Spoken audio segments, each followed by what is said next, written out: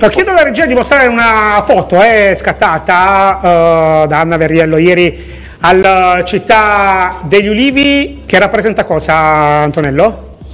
C'è stato questo bellissimo scambio di maglie tra appunto, la maglia del centenario uh, del Bitonto Calcio e, due, e con i rappresentanti del, della nazionale italiana sicurezza sul lavoro.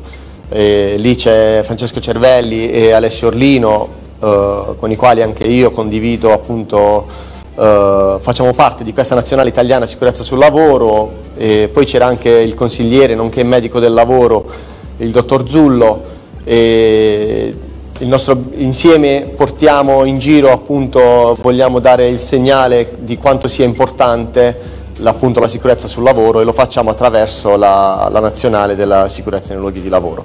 Il Presidente Rossiello ovviamente, splendida persona per l'ennesima volta, uh, sembra come se sto cercando la riconferma, eh? sto, sto, sto, si fa per dire, no però si, sicuramente ha, ha, voluto fare questo, questo, scambio di maglia per, con, per un, appunto per, perché comunque sono messaggi importanti e il calcio serve anche per veicolare appunto questi, questi messaggi di vita, questi messaggi importanti per, per tutti. Per tutti.